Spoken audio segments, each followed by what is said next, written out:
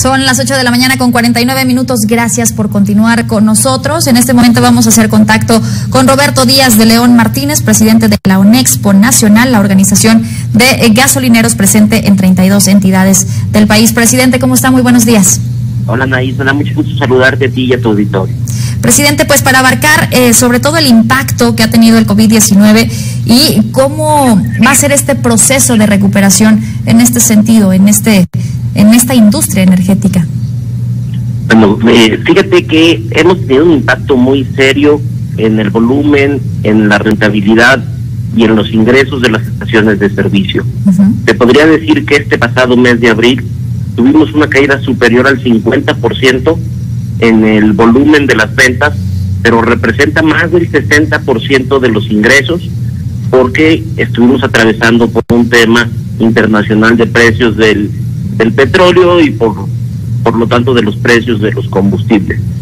Y hoy lo que vemos es una ligera eh, movilidad mayor, por lo tanto consideramos que empieza el proceso de recuperación y el sector gasolinero se ha estado preparando para seguir eh, con todas las medidas de seguridad atendiendo a nuestros consumidores de actividades esenciales. Es importante destacar que se han implementado muchos protocolos nuevos para el sector gasolinero, de tal forma que evitemos el tener contacto con nuestros clientes, hemos eh, generado ciertos procedimientos internos para constantemente estar adicional a las medidas que determina la Organización Mundial de la Salud y que recomienda también la propia Secretaría de Salud de nuestro país. Hemos implementado eh, protocolos para estar desinfectando nuestras instalaciones, para estar sanitizando todo lo que son las terminales punto de venta y equipos con los que el consumidor pudiera llegar a tener contacto. Presidente, la importación de combustible, la comercialización y la venta al público, de alguna manera también es motivo de preocupación en este sector. Fíjate que ahorita, afortunadamente, el país está con los niveles más altos históricos en sus terminales. Eh, los inventarios están en muy altos niveles.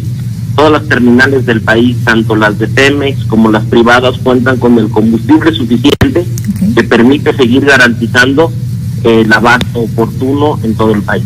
Entonces, por el tema de, de abasto y de cantidad de producto, estamos eh, prácticamente sin preocupación alguna. Eh, Roberto, yo le pregunto, el presidente el pasado domingo celebró de alguna manera que ya empezó la recuperación, a señalar que se había recuperado ya el precio del petróleo de 27.30, la mezcla, daba ese dato. Eh, ¿Cree usted que esta recuperación del petróleo y por ende la estabilización de los mercados continúe? ¿Se vaya a dar o es algo momentáneo pasajero? No, fíjate que ya es una realidad la recuperación internacional del precio. Tan es así que el precio de las gasolinas ha tenido en este mes de mayo un incremento importante, retomando su nivel, es decir, del 30 de abril a la fecha, ha tenido un incremento superior promedio a un peso con 50 centavos la gasolina regular. Entonces va recuperando eh, el precio y este es un, factor a nivel internacional. Entonces, eh, lamentablemente esto, bueno, pues afecta al bolsillo de los consumidores. Sin embargo, en términos nominales y reales, el incremento está considerado en un parámetro normal. Roberto, es eh, como que es paradójico, ¿no? La mejora del sector implicaría un aumento en el costo de la gasolina y obviamente una repercusión en el bolsillo del consumidor. ¿Cómo enfrentar esa paradoja que de algún modo es el beneficio de un sector pareciera ser el no beneficio de la sociedad o de quienes consumen gasolina? Fíjate que más que un beneficio del sector, yo te diría un poquito eh, en otros términos. Hoy el empresario gasolinero también se ve perjudicado. A nosotros nos perjudica mucho estos incrementos porque sí vamos a facturar más caro sin embargo, vamos a seguir manteniendo un decremento en nuestro volumen de ventas. ¿Y cómo impacta esto en el consumidor? Usando de manera más racional el vehículo. Entonces, ¿qué, está, qué esperamos nosotros? Una recuperación lenta.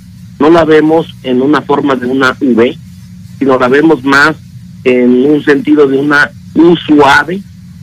Entonces, vemos que no vamos a llegar a los niveles que traíamos a principio de año aún hacia finales de este año, vemos una recuperación en el volumen mucho más lenta, con un posible escenario de una de un rebrote. Aquí muy rápido les comento, eh, Víctor Hugo, que nosotros tuvimos desde hace un par de meses, estuvimos en contacto con eh, los 18 países que componen la Comisión Latinoamericana de Empresarios del Combustible, con la Confederación Española de Empresarios de Estaciones de Servicio, eh, evaluando cómo iban eh, en Europa, cómo iba España. También tuvimos oportunidad de a través de España tener información de los empresarios gasolineros de Italia. Y es preocupante que allá vivieron una situación más eh, intensa que la nuestra y, y, también están viendo un posible rebrote. Entonces es un escenario que nosotros tenemos que considerar porque hay que recordar que el 70% de las estaciones de servicio de México son pymes, son empresas familiares y con esta disminución en el precio, en el volumen, prácticamente más del 30% de las estaciones de servicio están por debajo del punto de equilibrio. Y eso nosotros tenemos que ponerle especial atención y tenemos eh, la peor etapa por la que ha atravesado el sector gasolinero eh, históricamente la presentación que se hace eh, las mañaneras sobre la calidad de las gasolinas y sobre la manera como se distribuye los precios, ¿la considera usted adecuada esa, ese, esta supervisión, Roberto, que se hace por parte del gobierno federal? Fíjate que todo lo que sea empoderar al consumidor es muy positivo. Nosotros sí estamos conscientes y de acuerdo que la herramienta quienes tienen los precios es una herramienta muy útil. Sin embargo, no es nada más el precio el factor que determina en dónde cargar el combustible. Hay otros factores que no se están midiendo y son igual de importantes como la calidad final del producto, el servicio. Eh, eh, hay algunas otras aplicaciones que seguramente van a empezar a tener un poquito más de eh, fuerza o de expansión aquí en México, que ya son aplicaciones internacionales en donde sí se miden otros aspectos como te repito, hay más de 70 clases de gasolina en México, marcas registradas de gasolina. Sí hay una norma oficial mexicana que todas las eh, gasolinas deben de apegarse a estas características y condiciones.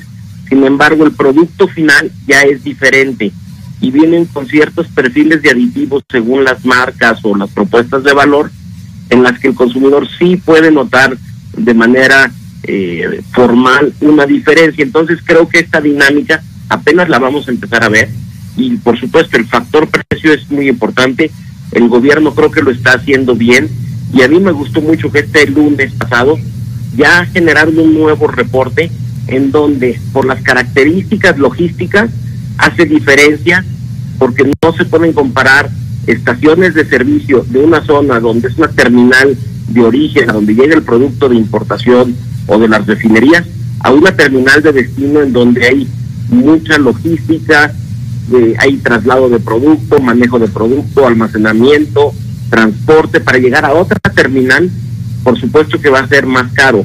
Por eso vemos que el propio Pemex entre sus terminales tiene incluso diferencias superiores a un peso con 50 centavos, porque hay una logística intermedia que encarece el producto y nos gustó mucho que este lunes presentaron ya un reporte en donde hacen estas diferencias, lo cual es muy saludable para el consumidor. Anaís. Presidente, hablando de la calidad de la gasolina en México, ¿cuál os podría decir que es su opinión? A ver, ¿me puedes repetir, por favor, porque no te escuché muy bien? Sí, hablando de la calidad de la gasolina en México, la calidad del petróleo que tenemos en el país, ¿cuál es su opinión? Mira, fíjate que México produce un petróleo que tiene unas características importantes para cierta producción de, de, productos de la industria petroquímica. Sin embargo, no es el más adecuado para las características de nuestras refinerías. Entonces, creo que como la mezcla mexicana de exportación le es muy útil a algunas empresas internacionales para cierta producción de petroquímicos o incluso hay refinerías que están diseñadas para poder refinar esta mezcla mexicana. En nuestro caso, nuestras refinerías están diseñadas para funcionar de manera más óptima utilizando un petróleo más ligero. Entonces, por eso es que hay que hacer algunas mezclas, en fin, Sin embargo, bueno, al final del día hay un petróleo de referencia para México que es el WTI y sobre ese nosotros estamos muy atentos a darle el seguimiento.